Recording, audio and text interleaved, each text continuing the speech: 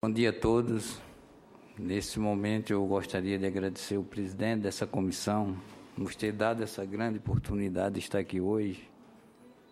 Agradecer também o nosso amigo doutor Márcio, da UB, representando a UB Bahia, o presidente, o doutor Davi, representando a Confederação Nacional na Agricultura do, do Brasil, Cláudio Basto, presidente da Federação dos Agricultores da Bahia, o nosso senador Pinheiros, um grande que nos deu essa oportunidade também de estar aqui hoje, Elides da senadora Elides Damate e os companheiros senadores que nos ajudaram estão aqui presentes, o vice-prefeito vice da cidade de Juazeiro está aqui também, a nossa presença, nos ajudando, nos cooperando, e todos que estão aqui na minha frente, eu quero agradecer a todos.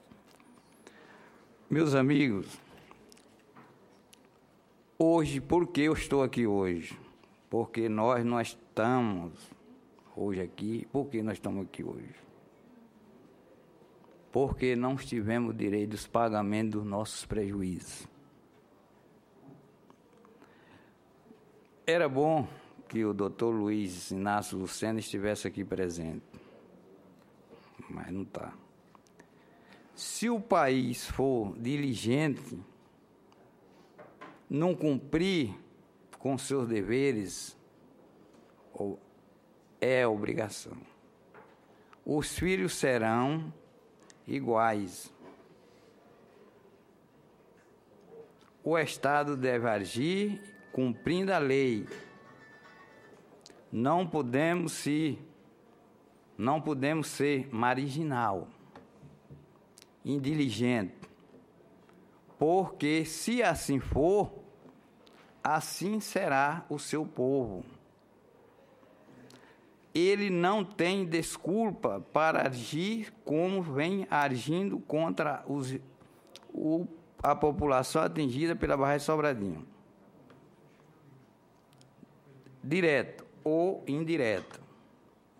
A lei é escrita para ser cumprida e nada mais, e nada mais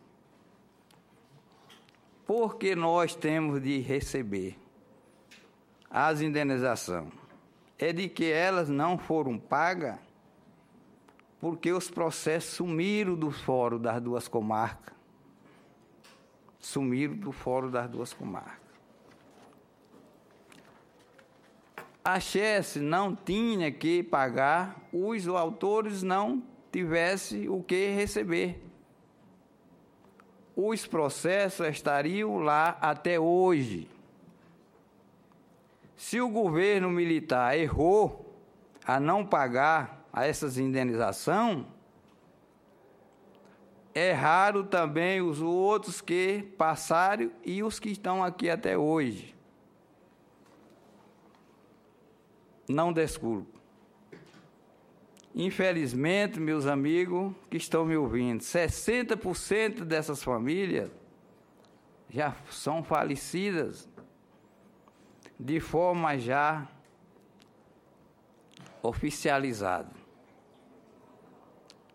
Os graves problemas do governo só receberam do Estado brasileiro foi a tristeza de, de, de tirar os seus direitos das suas terras, das suas moradias e não indenizar.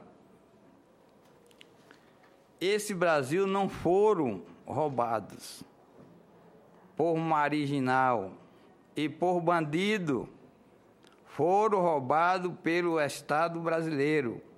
Uma vergonha. Quanto mais precisamos morrer, quantos mais precisamos morrer? A maioria morreu de tristeza e de abandono, e não existe desculpa para este argumento.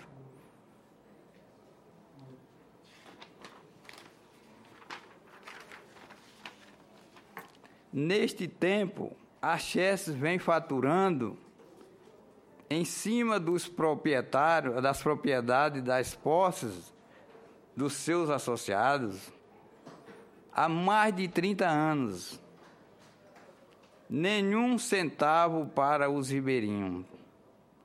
Infelizmente, demais porque gasto mais mal com coisa que eu tenho vergonha de falar aqui. Para finalizar, quero con conclamar os homens de bem que passa auxiliar para resolver estes problemas criminosos. Não podemos esperar mais de 30 anos para resolver este grave problema social.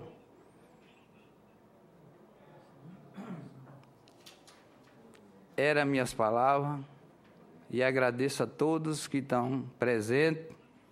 Estou aqui para receber qualquer pergunta da mesa de quem estiver presente. E obrigado a todos.